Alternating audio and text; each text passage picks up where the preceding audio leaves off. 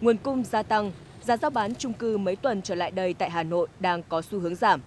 Theo khảo sát của phóng viên, một căn hộ 3 ngủ ở dự án khu Trung Hòa Nhân Chính khoảng tuần đầu tháng 4 được giao bán với giá 52 đến 55 triệu đồng một mét vuông, thì hiện tại nhiều môi giới báo giá dưới 50 triệu đồng một mét vuông có thương lượng.